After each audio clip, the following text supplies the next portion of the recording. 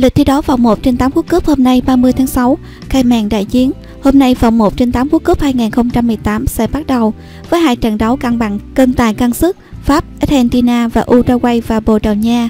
Sau 48 trận đấu vòng bảng, World Cup 2018 bắt đầu đi vào vòng knock-out với thể thức loại trực tiếp. Nếu hòa trong 90 phút, hai đội sẽ phải đá thêm hiệp phụ và giải quyết thắng thua trên chấm 11 m. Trận mở màn vòng 1 trên 8 được coi là chung kết sớm của giải diễn ra giữa Pháp và Argentina tại Kazan Arena vào lúc 21 giờ hôm nay 30 tháng 6. Pháp đang được đánh giá cao hơn nhờ dàn ngôi sao tên tuổi và trải đều các tuyến. Tuy vậy, Argentina lại có một trong hai cầu thủ xuất sắc nhất thế giới của bóng đá đương đại Messi. Ở vòng đấu bảng, Messi chỉ khi được một bàn sau 3 trận, nhưng không ai có thể nghi ngờ tài năng của tiền đạo này. Đặc biệt trong trận đấu loại trực tiếp, Argentina sẽ trở nên rất nguy hiểm khi chơi với tâm thế cửa dưới. Họ hoàn toàn có thể phòng ngừa chặt trước khi tính đến việc phản công với các cầu thủ tốc độ như Messi, Di Maria hay Agüero. Pháp tất nhiên sẽ lường trước khả năng này, khác với hai giải đấu lớn gần nhất là World Cup 2018 và Euro 2016. Pháp năm nay tỏ ra rất thực dụng, họ luôn cố gắng đánh bại các đối thủ mà không phô bày, hết sức mạnh vốn có. Vì thế, trước tên tuổi lớn như Argentina, Pháp rất có thể sẽ bùng nổ. Trận knock-out thứ hai là cuộc đọ sức ngang tài ngang sức giữa Uruguay và Bồ Đào Nha diễn ra vào lúc 1 giờ ngày 1 tháng 7. Uruguay là đội phòng ngự chắc chắn nhất của World Cup 2018.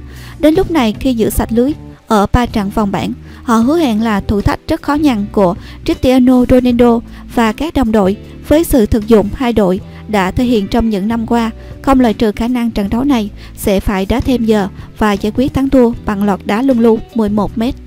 Lịch thi đấu vòng 1 trên 8 World Cup 2018 Ngày 30 tháng 6 21 giờ Pháp gặp Argentina. Ngày 1 tháng 7 vào lúc 1 giờ Uruguay gặp Bồ Đào Nha. Ngày 1 tháng 7 21 giờ, Tây Ban Nha gặp Nga. Ngày 2 tháng 7 1 giờ, Croatia gặp Đan Mạch. Ngày 2 tháng 7 21 giờ, Brazil gặp Mexico. Ngày 3 tháng 7 1 giờ, Bỉ, Nhật Bản. Ngày 3 tháng 7 21 giờ, Thụy Điển gặp Thụy Sĩ. Ngày 4 tháng 7 vào lúc 1 giờ, Colombia gặp Anh. Nhận định về 16 đội chi tiết nhất trong vòng 1 trên 8 World Cup 2018. Danh sách các đội tuyển vào vòng 1 trên 8. Sau khi ba loạt trận vòng loại kết thúc, các đội đứng nhất và nhì bảng sẽ được tiếp tục thi đấu ở vòng loại trực tiếp gồm 16 đội chia làm 8 trận đấu liên tiếp. Từ ngày 30 tháng 6 đến ngày 4 tháng 7 năm 2018, các đội tuyển tham dự vòng 1 trên 8 chắc chắn là những đại diện ưu tú nhất và là những hạt giống triển vọng nhất cho ngôi vị vô địch World Cup 2018. Trong đó cũng có một số cái tên nổi bật, điển hình là chủ nhà Nga đã có một chuỗi trận đấu hết sức ấn tượng khi có hệ số bàn thắng cao nhất trong 32 đội cho đến thời điểm hiện tại. Sau đây là danh sách 16 đội tham dự vòng loại 1 trên 8 World Cup 2018 chính xác nhất và thành tích thi đấu tóm gọn của từng đội tại giải đấu năm nay. Danh sách 16 đội tham dự vòng 1 trên 8 World Cup 2018 Bảng A, Uruguay 9 điểm và Nga 6 điểm. Bảng B, Tây Ban Nha 5 điểm, Bồ Đào Nha 5 điểm. Bảng C, Pháp 7 điểm, Đan Mạch 5 điểm.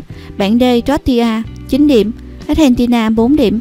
Bảng E, Brazil 7 điểm, Thụy Sĩ 5 điểm. Bảng F, Thụy Điển 6 điểm, Mexico 6 điểm. Bảng C, 7 9 điểm, Anh 6 điểm. Bảng H, Colombia 6 điểm, Nhật Bản 4 điểm. Nhận định phong độ các đội thi đấu vòng 1 trên 8 chính xác nhất.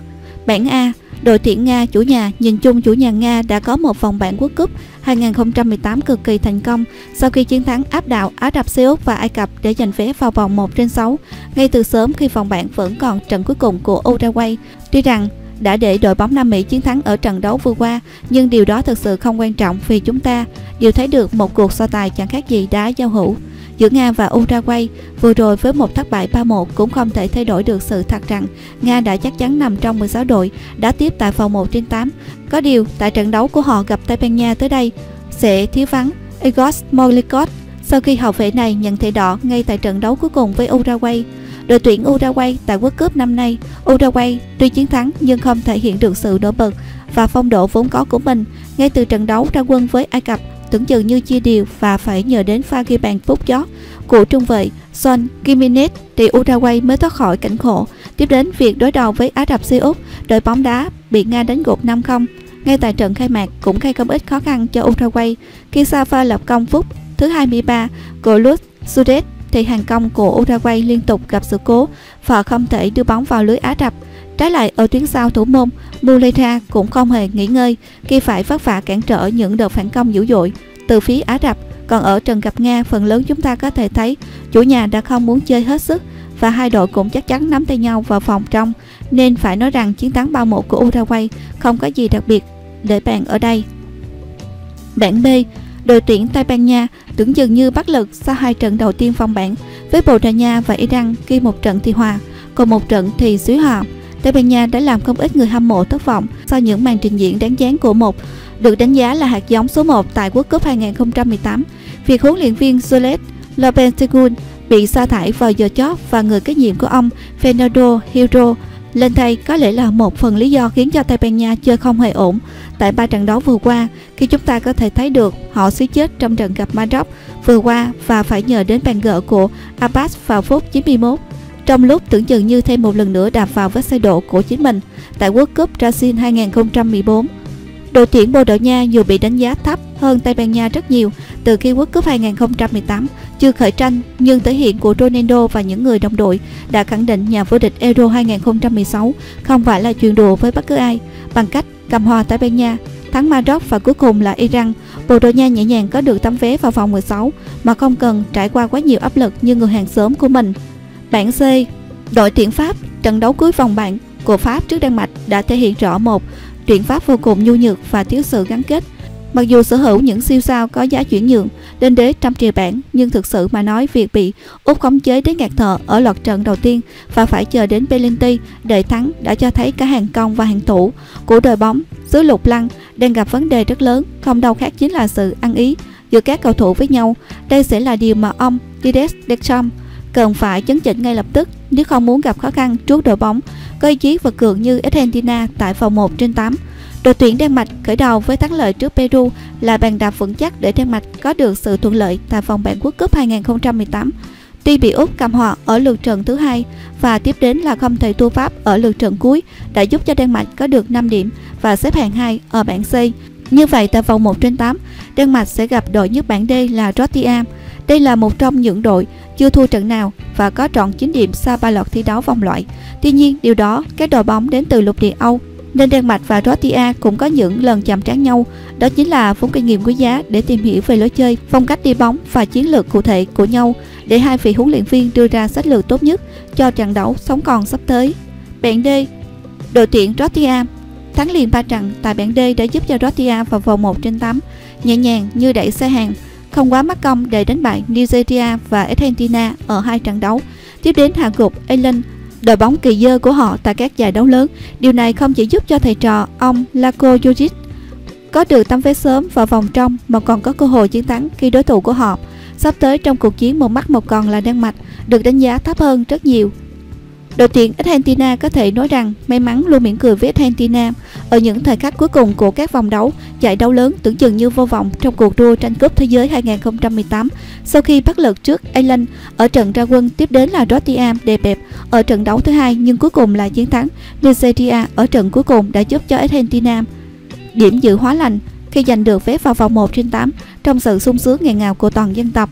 Với kết quả 4 điểm và xếp thứ hai bảng D Argentina sẽ gặp Pháp ở trận loạt trực tiếp 16 đội vào ngày 30 tháng 6 tới đây tại sân Kazan Arena. Bảng ơ, đội tuyển Brazil, Brazil có một khởi đầu không được tốt đẹp khi gặp Thụy Sĩ ngay trận đấu mở màn mặc dù cố gắng rất nhiều nhưng hàng công của đội bóng Samba đã lộ ra những yếu điểm và bị các cầu thủ đến từ xứ đồng hồ khai thác và khắp chế một cách dễ dàng. Thực sự mà nói ở World Cup 2018, sau ba vòng đấu thì Niemann vẫn chưa thực sự tỏa sáng đúng như tên tuổi các anh khi bỏ lỡ rất nhiều cơ hội trước các đối thủ được đánh giá là yếu hơn ở bảng F, đặc biệt là Costa Rica khi họ có lịch sử đối đầu không bao giờ thắng trước Brazil nhưng bạn cũng thấy rồi đấy.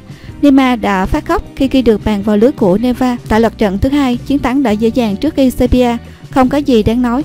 Nhưng ông ta cần phải củng cố lại hàng tấn công để phát huy hiệu quả cao. Những siêu sao tuyến đầu hơn hết, hàng phòng thủ của Brazil cũng cần phải có sự tiến bộ vì đối thủ của họ tại vòng 1 trên 8 sắp tới là Mexico kể đã cướp công đạp đổ, đương kim vô địch Đức với chiến thuật phòng ngự phản công vô cùng hiệu quả của mình.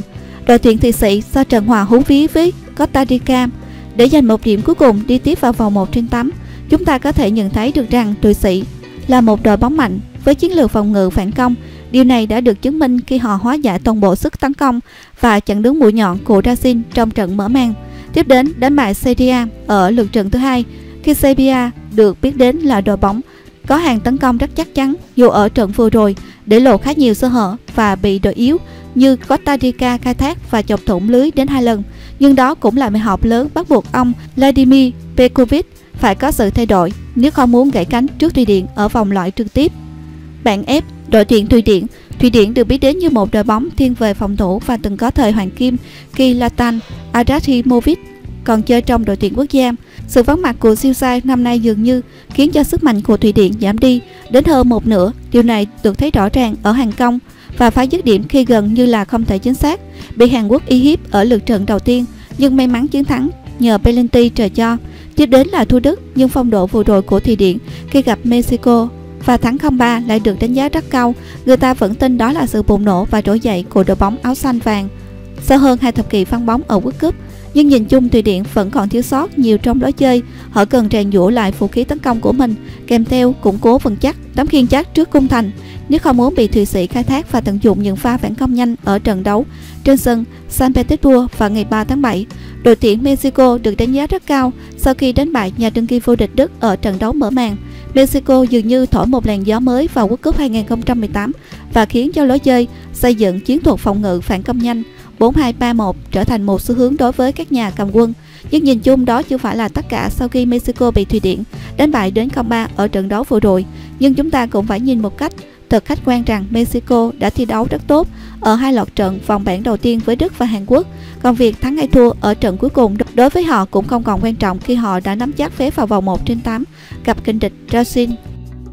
Bảng C, đội tuyển Anh gặp đội tuyển Bỉ, bảng H, đội tuyển Colombia gặp đội tuyển Nhật Bản. Trên đây là một số nhận định phong độ danh sách 16 đội tham dự vòng 1 trên 8 World Cup 2018.